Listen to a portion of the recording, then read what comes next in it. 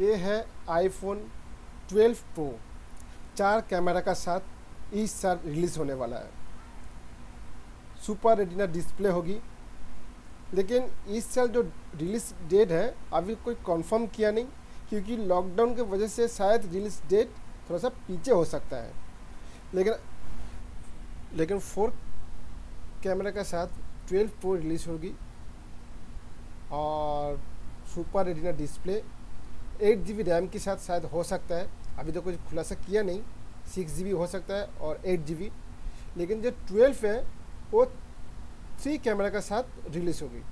लेकिन ये वीडियो आपको अच्छा लगा है प्लीज़ आप सब्सक्राइब कीजिए माय यूट्यूब चैनल को। Thank you